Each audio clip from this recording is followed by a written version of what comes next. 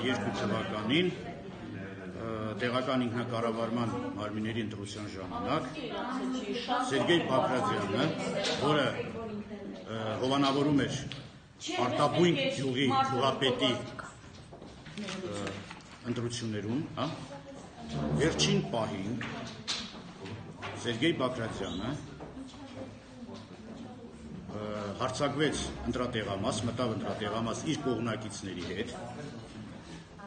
փորձեց ուրեմն քվյա թերտիկներ ներսկցել կամ արկղը գողանալ, ընդհանուր ինչև արկղը գողանալը, երբ ոստիկանը միջամտեց, ինքը հարվածեց ոստիկանին, որից հետո ոստիկանապետը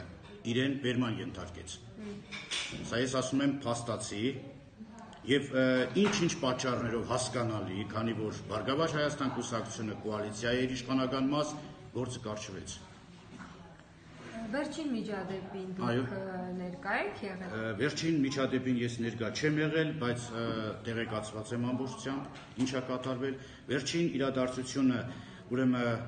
միտումնավոր ես կորակեմ, եղել է այդ ամենը, նույն իր այդ համայնքի ղեկավարների մասնակցությամբ, որին ինքը քաղաքական, այսպես ասած, կնկահայր էր դարձել եւ վայելում էին այդ համայնքի ղեկավարների լայն օժանդակությանը, ինքը փորձեց փոխմարսպետին կոտրել, նսեմացնել։ Նսեմացնել ցույց տալու, որ այս տարածքում դուք անելիք չունեք։ Որ այս տարածքում մենք ենք թելադրողը, որովհետև սա իրենց ոգեկերտվածքին հարիր էր։ Ես տեսել եմ, երբ այն ժամանակ երբ պայքարի էի դուրս գալիս եւ հայտարարությամբ հանդես էի գալիս անուն առ անուն, նախկին իշխանությունների ժամանակ անուն առ անուն հեկերի տիրակալներին եւ մատնանշում էին նույն Սերգեյ Բակրատյանի անունը,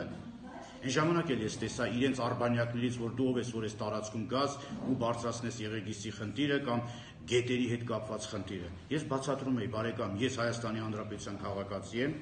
եւ ես իրավունք ունեմ, որևիցե մեկը չի կարող սահմանափակել իմ իրավունքը որևիցե գետերի կամ տարածքի մասին խոսելուց։